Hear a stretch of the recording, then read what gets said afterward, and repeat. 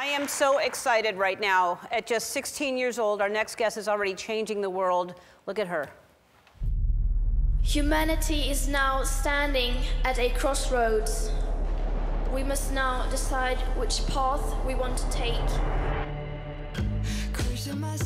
A teenager from Sweden called the Voice of the Planet leads a global youth movement and has been nominated for the Nobel Peace Prize.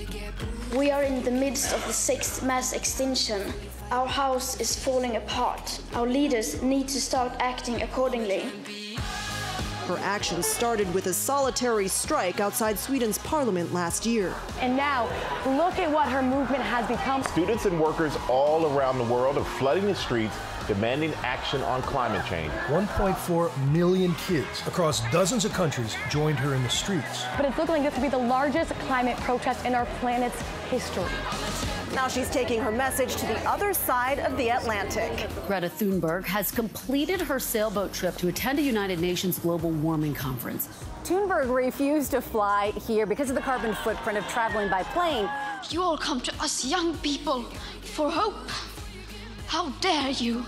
You have stolen my dreams and my childhood with your empty words. Greta Thunberg is taking on climate change head on, pulling no punches. She delivered a scathing speech. She fiercely criticized leaders for their inaction on combating climate change. You are failing us, but the young people are starting to understand your betrayal. By scolding the rich and powerful, she made such waves. A prominent conservative in Britain tweeted, Freak yachting accidents do happen in August. And now she's on the president's radar as well. Overnight, the president seeming to mock this teenage activist with a sarcastic tweet. And if you belong to that small group of people who feel threatened by us, then we have some very bad news for you. Because this is only the beginning.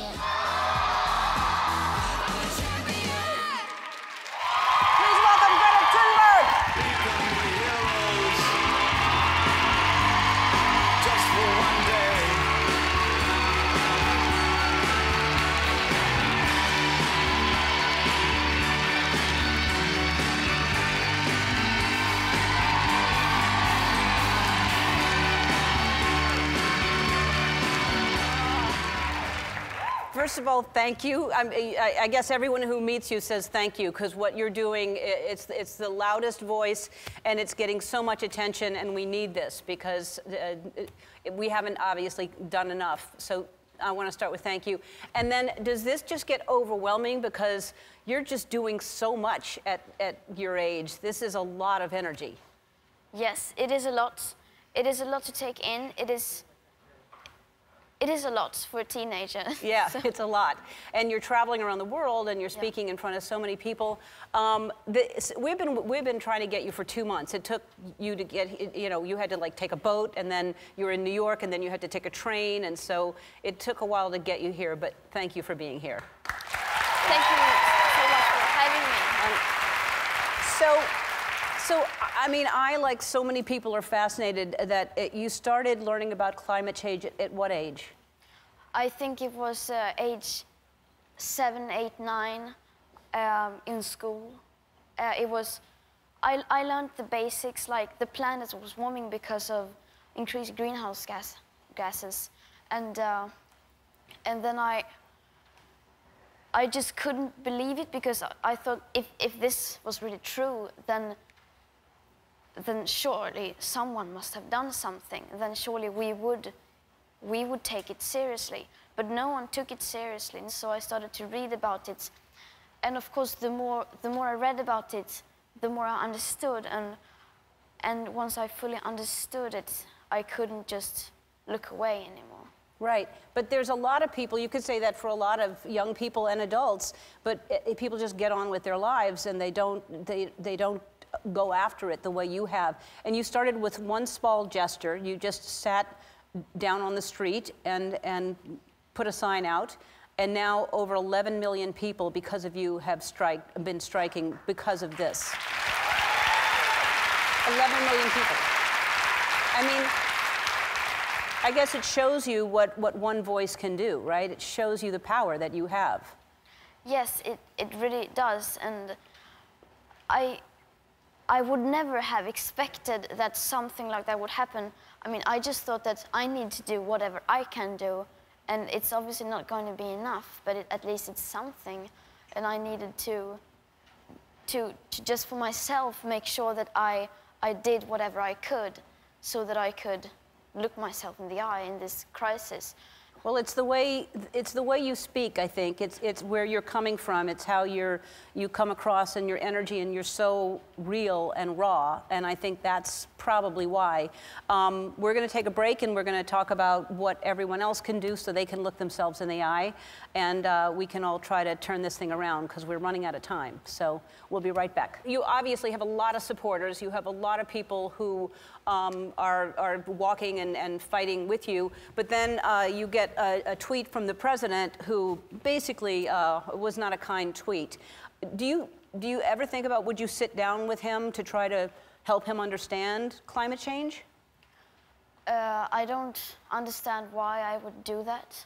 Um, I mean, I. I don't. I don't see what I could tell him that he hasn't already heard. Yeah. And I just. I just think it would be a waste of time, really. Yeah. And. Um, and you have said, uh, and, and I love that you say this, you say that your Asperger's is a gift, that you, you think it's, you look at it as a gift. And I think, uh, I think it, it is a gift, but explain why you say that. Uh, I mean, in this society, everyone is the same, everyone thinks the same. And then I think it, it is a gift to be different, to have some kind of if you are on the autism spectrum. That makes you different. And especially in, in a crisis like this, we need to think outside the box. We need people who think differently. And that means that people who work differently can be a good resource for that. And yep.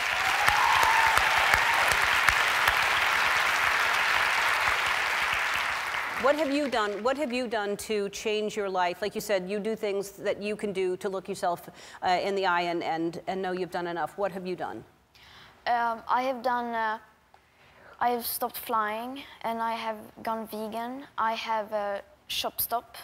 It means you don't buy new things unless you absolutely have to. Um, and I uh, and just things like that. But especially, I'm trying to to communicate what is happening and try to put pressure on people in power.